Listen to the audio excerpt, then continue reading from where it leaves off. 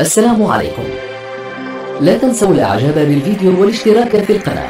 تشجيعا لنا لنستمر بنشر المزيد إن شاء الله. من فضلكم اشتركوا بالقناة. وإضغطوا على زر الإعجاب للفيديو.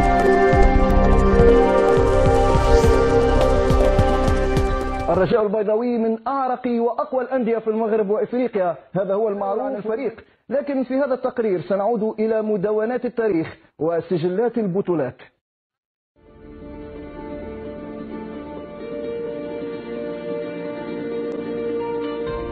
بعد حوالي خمسين سنة فقط على تأسيسه أبى أن يكمل القرن العشرين كثالث أفضل فريق في القارة السمراء.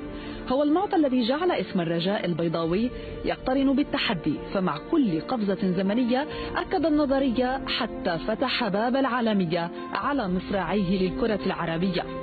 الرجاء مواليد الثاني والعشرين من مارس عام 1949 ليكون من برج الحمل وفي ذلك العالم يقال إن شخصية البرج يمتزج فيها التحدي مع المثابرة وهما الصفتان التي لازمتا مسيرة الفريق منذ نعومة أطفاله عندما اشتد عود اليافع البيضاوي وأصبح في سن الخامسة والعشرين توج بأول ألقابه ألا وهي كأس العرش في عام 74 من القرن الماضي وهي واحدة من بين سبع كؤوس.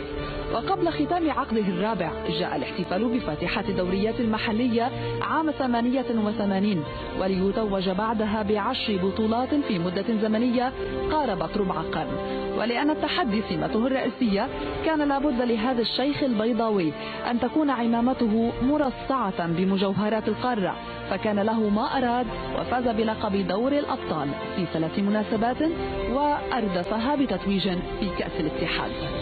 لائحة الألقاب والأمجاد لا تزال طويلة وقصص الفانتازيا الرجاوية صنعها مصارعون أشداء.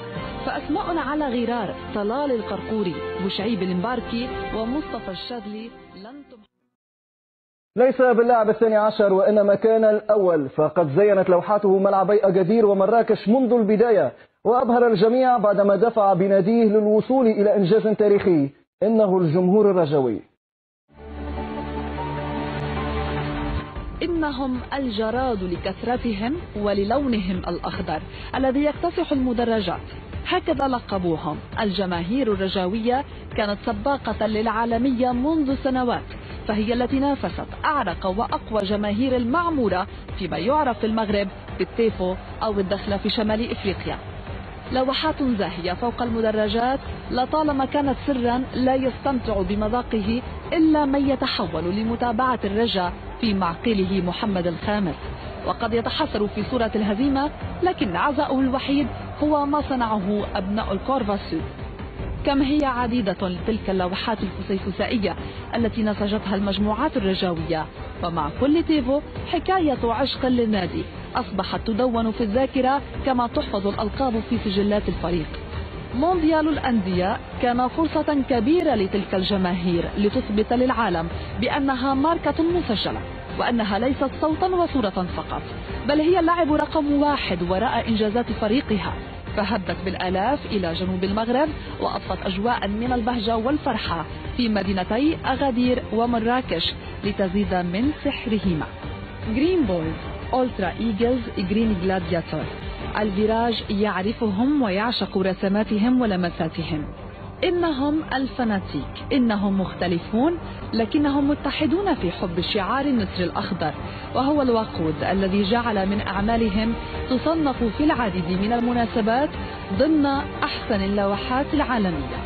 فاشكروا لتلك الجماهير التي عيشتنا الحلم في أبهى زينة ولتغني رجاء دنا